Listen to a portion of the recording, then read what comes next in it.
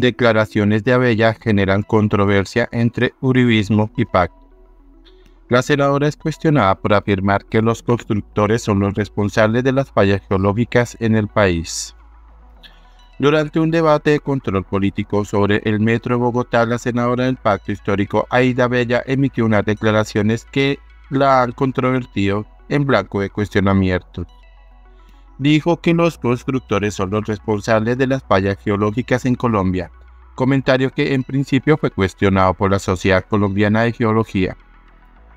Es importante tener un conocimiento claro sobre los fenómenos geológicos y naturales que nos rodean. El país necesita más educación en geociencias, destacó la institución, la cual en un comunicado hizo un llamado para que las discusiones técnicas estén soportadas por elementos precisos de ciencia e ingeniería. Ante los cuestionamientos, la parlamentaria petrista quiso aclarar en su cuenta X la situación. Todas las carreteras, según los estudios de la gente especializada, causan efectos, no solamente en el ambiente, sino también efectos que pueden desencadenar fallas geológicas que no estaban. Por ejemplo, la utilización de dinamita. También la no canalización correcta de algunos efectos del agua de nacimientos o de quebradas. Además agregó que todo esto hace que debe haber en Colombia los estudios previos y muchas veces por ahorrar dinero no se hace.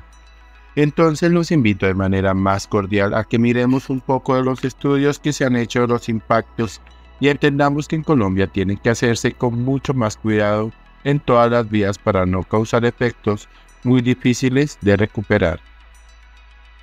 A su turno, el representante del Centro Democrático Andrés Porero respondió, sin engaño, senadora, usted afirmó que los constructores privados generaban fallas geológicas y la tuvo que desmentir la Sociedad Colombiana de Geología.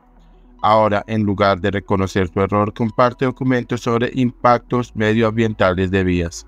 No compare peras con manzanas, indicó.